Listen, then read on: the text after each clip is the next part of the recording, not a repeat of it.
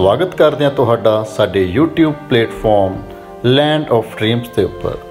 ਦੋਸਤੋ, ਅੱਜ ਅਸੀਂ ਇੱਕ ਛੋਟੀ ਜਿਹੀ ਕਹਾਣੀ ਲੈ ਕੇ ਪੇਸ਼ ਹੋ ਰਹੇ ਹਾਂ। ਉਮੀਦ ਹੈ ਤੁਹਾਨੂੰ ਇਹ ਕਹਾਣੀ ਬਹੁਤ ਪਸੰਦ ਆਏਗੀ। ਜ਼ਿੰਦਗੀ ਭਰਨ ਲਈ ਪਹਿਲਾਂ ਖਾਲੀ ਹੋਣਾ ਪੈਂਦਾ ਹੈ। ਲੰਮੀ ਛਾਲ ਤੋਂ ਪਹਿਲਾਂ ਦੋ ਕਦਮ ਪਿੱਛੇ ਪੁੱਟਣੇ ਪੈਂਦੇ ਨੇ। ਮੀਂਹ ਆਉਣ ਤੋਂ ਪਹਿਲਾਂ ਗਰਮੀ ਦਾ ਵਧਣਾ ਆਮ ਗੱਲ ਹੈ। ਨਵੇਂ ਪੱਤਿਆਂ ਦੇ ਉੱਗਣ ਤੋਂ ਪਹਿਲਾਂ ਪੁਰਾਣਿਆਂ ਨੂੰ ਝੜਨਾ ਪੈਂਦਾ ਹੈ, ਜੁੜਨ ਤੋਂ ਪਹਿਲਾਂ ਟੁੱਟਣਾ ਪੈਂਦਾ ਹੈ। ਕਿਉਂਕਿ ਅਗਰ ਟੁੱਟਦੇ ਹੀ ਨਾ, ਤਾਂ ਜੁੜਨਾ ਕਿਸ ਨੇ ਸੀ? ਤਾਰਿਆਂ ਦੇ ਚਮਕਣ ਲਈ ਹਨੇਰੇ ਦਾ ਹੋਣਾ ਲਾਜ਼ਮੀ ਹੈ। ਇਸੇ ਤਰ੍ਹਾਂ ਚੰਗਾ ਬੋਲਣ ਦੀ ਅਵਸਥਾ 'ਚ ਜਾਣ ਤੋਂ ਪਹਿਲਾਂ ਚੁੱਪ ਰਹਿਣਾ ਲਾਜ਼ਮੀ ਹੈ। ਕੁਝ ਵੀ ਮਾੜਾ ਨਹੀਂ ਹੁੰਦਾ, ਜੋ ਵੀ ਹੁੰਦਾ ਹੈ, ਕਿਸੇ ਚੰਗੇ ਦੀ ਹੋਣ ਦੀ ਤਿਆਰੀ ਵਿੱਚ ਹੁੰਦਾ ਹੈ। ਇਸ ਬ੍ਰਹਿਮੰਡ ਦੇ ਬਹੁਤ ਹਿੱਸੇ ਵਿੱਚ ਖਲਾ ਹੈ, ਖਾਲੀਪਨ ਹੈ ਅਤੇ ਕਈ ਗ੍ਰਹਿਾਂ 'ਚ ਵਾਤਾਵਰਨ ਹੈ, ਅਰਥਾਤ ਉਹ ਭਰੇ ਹੋਏ ਨੇ। ਪਰ ਸ਼ਕਤੀਸ਼ਾਲੀ ਗੱਲ ਇਹ ਹੈ ਕਿ ਭਰੇ ਹੋਏ ਵੱਡੇ ਵੱਡੇ ਗ੍ਰਹਿਾਂ ਨੂੰ ਵੀ ਆਪਣੇ ਕਲਾਬ ਵਿੱਚ ਉਹ ਬ੍ਰਹਿਮੰਡ ਸੰਭਾਲੀ ਬੈਠਾ ਹੈ, ਜਿਸ ਨੂੰ ਅਸੀਂ ਖਾਲੀ ਸਮਝਦੇ ਹਾਂ। ਜਿੱਥੇ ਸਾਡੀ ਨਜ਼ਰ 'ਚ ਖਲਾ ਹੈ, ਹੋਰ ਕੁਝ ਵੀ ਨਹੀਂ। ਕਈ ਵਾਰ ਜਿਸ ਨੂੰ ਅਸੀਂ ਖਾਲੀ ਸਮਝ ਬੈਠਦੇ ਹਾਂ, ਉਹ ਜ਼ਿਆਦਾ ਭਰਿਆ ਹੁੰਦਾ ਹੈ। ਜਿਵੇਂ ਕਿ ਇੱਕ ਫਕੀਰ ਨੂੰ ਇੱਕ ਰਾਜਾ ਰੋਕ ਕੇ ਪੁੱਛਣ ਲੱਗਾ ਕਿ ਤੇਰੇ ਥੈਲੇ 'ਚ ਕੀ ਹੈ? ਉਹ ਕਹਿੰਦਾ, ਸ਼ਾਮ ਦੀ ਰੋਟੀ। ਰਾਜਾ ਕਹਿੰਦਾ, ਮੈਨੂੰ ਤੇਰੀ ਹਾਲਤ ਦੇਖ ਕੇ ਤਰਸ ਆ ਰਿਹਾ ਹੈ।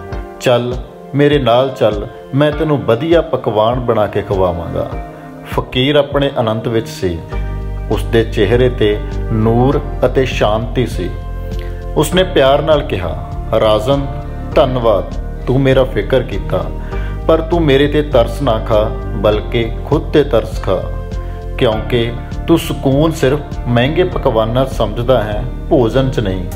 ਤੇਰੀ ਨਜ਼ਰੇ ਕੱਪੜਾ ਉਹ ਹੈ ਜਿਸ ਤੇ ਸੋਨੇ ਦੀ ਕਢਾਈ ਹੋਵੇ, ਪਰ ਮੇਰੀ ਨਜ਼ਰੇ ਕੱਪੜਾ ਉਹ ਹੈ ਜੋ ਜਿਸਮ ਨੂੰ ਢਕੇ।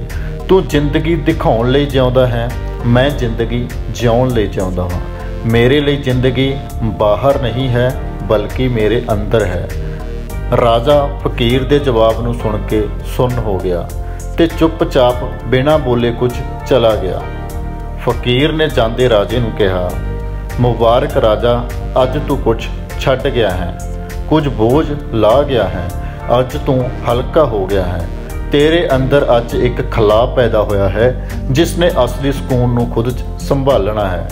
ਤੇਰੀ ਚੁੱਪ ਤੇਰੇ ਸ਼ਬਦਾਂ ਨਾਲੋਂ ਜ਼ਿਆਦਾ ਸ਼ਕਤੀਸ਼ਾਲੀ ਹੋ ਗਈ ਅੱਜ। ਇਸ ਚੁੱਪ ਦਾ ਆਨੰਦ ਮਾਣਦਾ ਰਹਿ। ਐਨਾ ਕਹਿ ਕੇ ਫਕੀਰ ਆਪਣੇ ਰਾਹ ਤੁਰ ਪਿਆ।